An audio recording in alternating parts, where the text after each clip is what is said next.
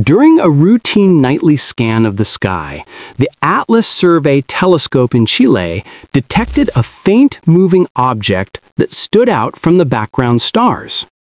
Atlas, a system built to identify potentially hazardous asteroids and comets, flagged the detection for additional observations.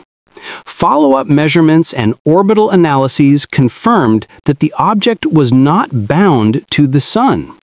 Instead, its trajectory was hyperbolic, meaning it would pass through the solar system only once before escaping into interstellar space. This made the object, later designated 3I Atlas, only the third confirmed interstellar visitor detected by astronomers. The first such body, Oumuamua, was discovered in 2017 and showed unusual characteristics that continue to be debated. The second, 2I Borisov, was observed in 2019 and displayed behavior more typical of comets within our solar system. Spectroscopic observations of 3I Atlas revealed the presence of carbon dioxide and water vapor, confirming that it was active even at large distances from the Sun. Orbital calculations determined that the comet would reach perihelion in late October 2025, at a distance of about 1.36 astronomical units. The closest approach to Mars was projected for early October at 0.193 AU, while the closest approach to Earth would be significantly farther, around 1.8 AU. Based on these distances, NASA and ESA reported that the comet poses no impact risk to either planet. However, inside major research institutions such as NASA's Jet Propulsion Laboratory and Harvard's Center for Astrophysics, another story was said to be developing alongside the official announcements. The version presented to the public emphasized routine scientific observation, but according to accounts that surfaced later, some orbital analysts began noticing irregularities in the data almost from the start. When a comet is tracked over successive nights, astronomers normally refine its orbital parameters until the model converges smoothly. With 3I Atlas, the story went, the fit never quite settled. The deviations were small, well within the range of what comets sometimes display, but they persisted night after night. The usual explanation for such residuals is non-gravitational acceleration, a well-known effect in cometary dynamics. As solar radiation warms the surface, ices sublimate and vent as jets of gas, producing tiny but measurable thrusts that gradually alter the comet's trajectory. Most comets display these behaviors in irregular bursts, with activity rising and falling depending on which regions of their nuclei are illuminated. In the case of 3I Atlas, insiders allegedly describe the effect differently. The deviations appeared unusually smooth, as if a constant and steady hand were nudging the comet along its way. The claim that circulated quietly in these circles was simple but provocative. It looked guided. No peer-reviewed study has confirmed this interpretation, and the available data sets are fully consistent with natural explanations. Still, the suggestion explains why some observers have hinted that the excitement of July gave way to a more cautious, even uneasy mood as August began. Around that time, references to so-called secret models began to appear in online discussions and speculative reporting. The claim was that NASA's JPL and Harvard's Center for Astrophysics were running supercomputer simulations to test various scenarios of non-gravitational forces acting on 3I Atlas. Such work would not be unusual. Mission planners and astronomers routinely run ensembles of orbital fits to assess the possible ranges of trajectories when uncertainties remain. What made the rumor unsettling was the alleged outcome.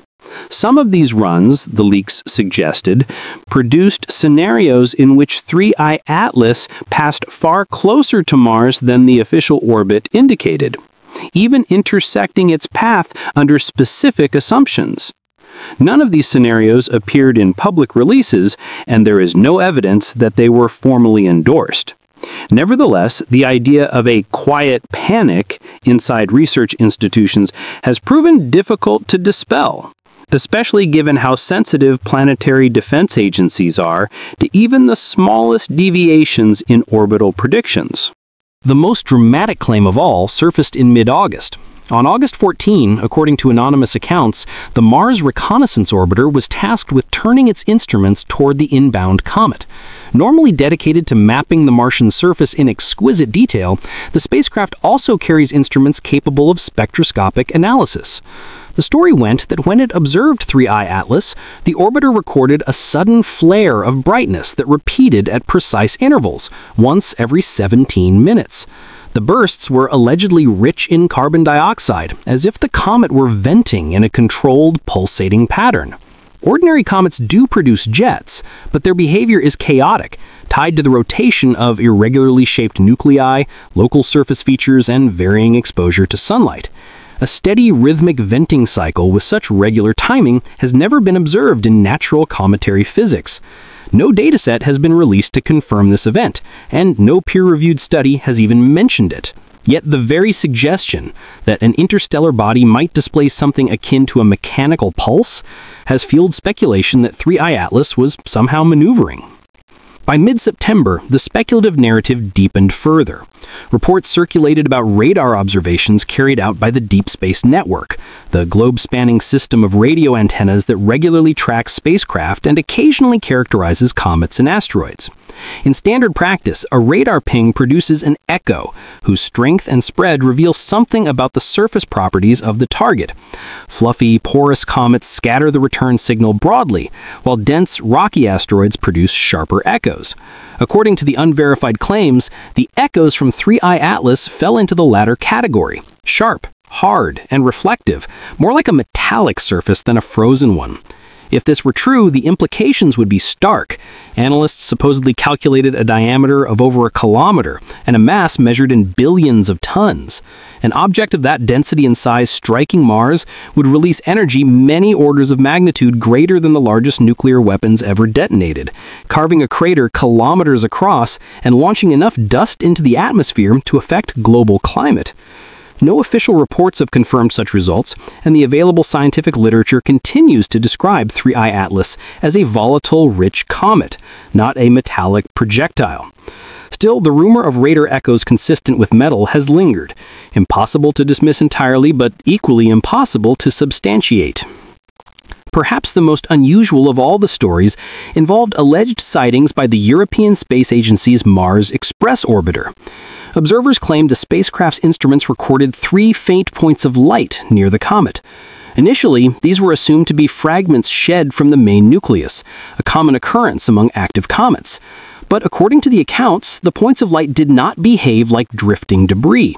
Instead, they appeared to maintain fixed positions relative to one another, forming a triangular pattern that persisted as the comet moved.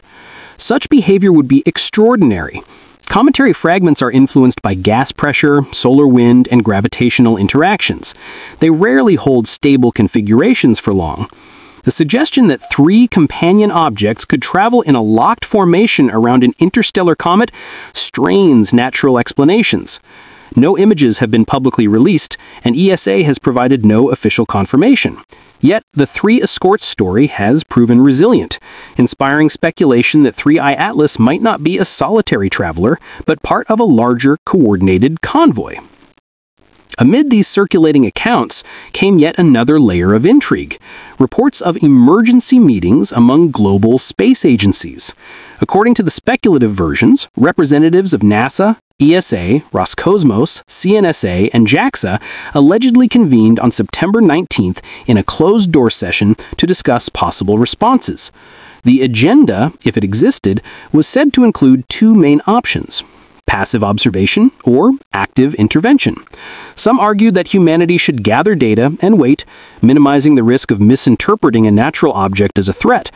Others, particularly from military backgrounds, reportedly favored exploring interception strategies, even though deflecting or destroying an interstellar object of such mass would be well beyond current technology. There is no verifiable record of such a meeting, and leaders have issued no acknowledgments of any emergency summit. Yet the narrative has captured attention. Scientists advocating caution, strategists urging preparation, and the first hypothetical image of all major spacefaring nations united against a potential threat from beyond. Throughout all of this, the official facts remain consistent. Based on repeated observations from ground and space, the trajectory of 3I Atlas is well constrained. The comet will miss Mars by nearly 30 million kilometers, will not approach Earth any closer than 1.8 AU, and will continue on a hyperbolic course back into interstellar space. Peer-reviewed studies describe it as a comet with unusual but natural properties, rich in carbon dioxide, with dust behavior distinct from most solar system examples. And yet, the alternative narrative, rhythmic pulses, metallic echoes, triangular escorts, secret summits, continues to circulate in the margins. Each element remains unconfirmed. They may represent misunderstandings of noisy data, speculative embellishments, or simple fabrications. But the possibility that even one might contain a grain of truth keeps the story alive. Could 3I Atlas be more than a comet, a probe, a vessel, or some fragment of interstellar technology? The absence of confirmation does not remove the question, it only postpones the answer. For planetary scientists, the comet's close approach in October 2025 represents an unprecedented observational opportunity, the chance to measure the chemistry, dust, and dynamics of a body from another star system. For those captivated by the leaks, however, the event has become something else, a countdown to revelation or a mystery destined to remain unresolved. Two parallel stories continue to unfold, one written in data tables and orbital ephemerides, the other in whispers of maneuvering signals and metallic cores. Between them lies an unsettling question. What if even one of the extraordinary claims is not entirely wrong? Until the comet passes and the observations are complete, the world watches, measures, and wonders.